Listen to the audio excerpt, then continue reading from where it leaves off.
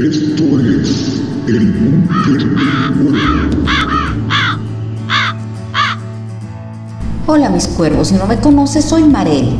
Les mando un besazo. Y empezamos. ¿Qué pasó con Jan Spangler? Jan, como muchos otros, soñaba en convertirse en una estrella de cine de Hollywood. E incluso si nunca lo lograba, se lo iba a pasar genial intentándolo. Spangler había trabajado como modelo y era bailarina en Florentine Gardens, en Hollywood. También tuvo algunos papeles en películas como Cuando mi bebé me sonríe, Wabash Avenue y El joven con un cuerno, y una película protagonizada por Kirk Douglas. En 1949, Spangler era una madre divorciada de 26 años de una hija pequeña y vivía con su madre.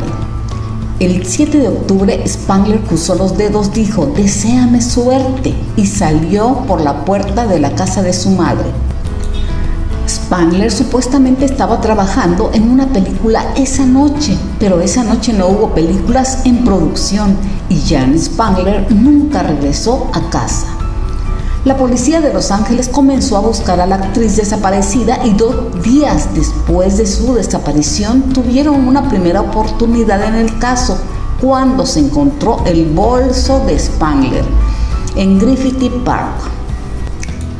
Dentro del bolso había una nota escrita por Spangler que decía, Kirk, no puedo esperar más. Voy a ver al doctor Scott. Funcionará mejor de esa manera mientras mamá no esté antes de que el jefe de la policía de Los Ángeles, Tad Brown, pudiera siquiera organizar la búsqueda del Dr. Scott, recibió una llamada telefónica del actor Kirk Douglas.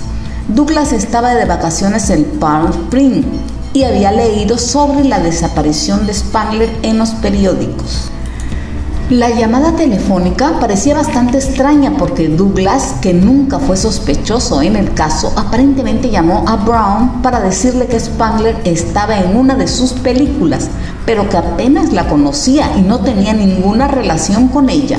Se desconoce por qué Douglas sintió que necesitaba hacer la llamada y la policía nunca identificó al misterioso Kirk. A medida que la investigación continuaba, la policía se enteró de un hombre que andaba por Somerset Street y que se hacía llamar Doc Doc. No era médico, pero tenía cierta formación médica y practicaba abortos. La policía nunca pudo encontrar al misterioso Doc y la investigación había llegado a un callejón sin salida. En este punto, un oficial de la Policía de Los Ángeles que trabajaba en el caso dijo que lo único que sabían era de que Jean Spangler era una fiestera voraz.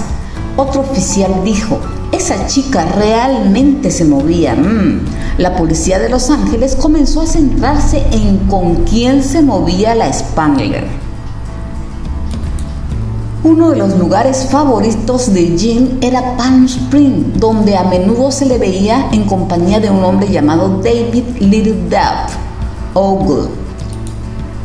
Ogle era un ejecutor del mafioso Mikey Cohen y estaba acusado de conspiración en ese momento. Spangler también fue vista con un hombre llamado Frank Nicoli, otro asociado de Cohen que también había sido acusado de conspiración una teoría sobre la desaparición de Jean es que Ogle y Nicole habían acordado testificar contra Mike Cohen a cambio de sentencias indulgentes en el caso de conspiración. Cuando Cohen se enteró de esto, los hizo matar y Jan Spangler, que estaba con ellos, también fue ejecutado. Si esto es cierto, Jan y los dos mafiosos están enterrados en el desierto cerca de Palm Spring. Esta teoría puede ser cierta, pero se informó de avistamientos de Spangler después de que Ogle y Nicole desaparecieron. Spangler fue vista en El Paso, Las Vegas, el norte de California, Phoenix e incluso en la Ciudad de México. Ninguno de los avistamientos llevó a ninguna parte. El caso es, mis cuervis, que la desaparición de Jim Spangler sigue sin resolverse. Cuando la policía o el sistema de búsqueda no dan respuesta, Siempre tratan de culpar a la víctima, sobre todo si es mujer, como en este caso diciendo, Jim era una fiestera voraz, andaba con muchos amantes, esa chica realmente se movía bien. Eso habla de su incompetencia como sistema.